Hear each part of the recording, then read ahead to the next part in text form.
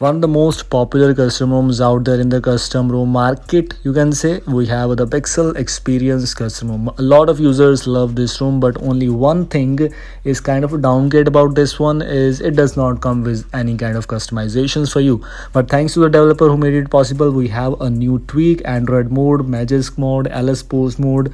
We have that module available through which you can get some customizations on a device and if you were looking for pixel experience and were just lagging because of the customization customizations yes you can definitely install this thing.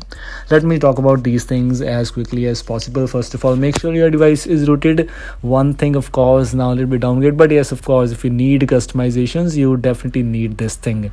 We have these options available. For example we have the magisk available. I will recommend you to use the latest magisk version on your device to keep this thing in mind that these mods will definitely work for you. The modules the customizations. In my case i'm using the magisk version 24.3 you can use any other version also but but I will recommend you to use the latest version for sure.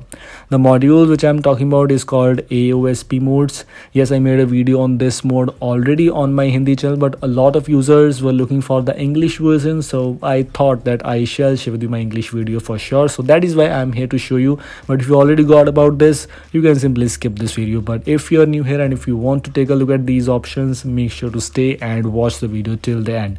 We have the AOSP mods available where in custom ROMs where you have these customized customizations in pixel experience or the ROMs where you don't have those customizations you can get this very easily.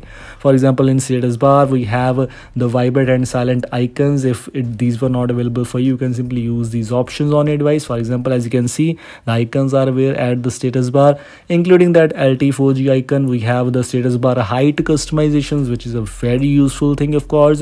You can even customize the battery styles which you don't which you can't do in the pixel experience ROM by default. And one of my favorite features features includes show seconds in the clock and as you can see status bar i have the seconds enabled. You can also customize the quick settings panel like uh, three qs tiles columns. Let me show you this is how it is looking like. You can customize this. You can even change the color but this is as you can see might be buggy so i'll not recommend you to use this. Other than else things are basically same. Theming google sans font of course quite useful as i'm using it on my device and as you can see this is working perfectly fine we can even customize the icon styles. I have enabled the custom icon pack. You can see the status bar icons are now changed and you can customize that by enabling the icon style. Other than else lock screen unfortunately does not have any major changes so i think so. We're not going to talk about these things much here because it does not contains any major changes or major features. But if we move on to the navigation bar let me talk about one more thing. You have the three button navigation customizations but if we move on to the gesture option you have the reduce space on keyboard. A lot of things which you were doing with the help of modules you can do all these things with just help of one module which is called modification AOSP mods or basically customizations for all the ROMs.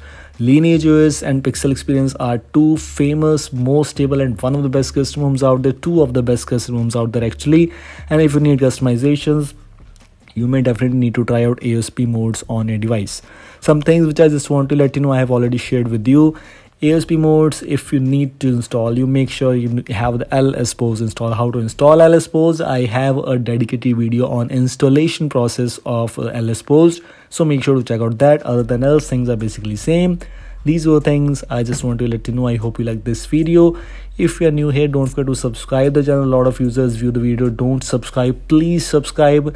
I will see you in the next video. Until then goodbye. Take care of yourself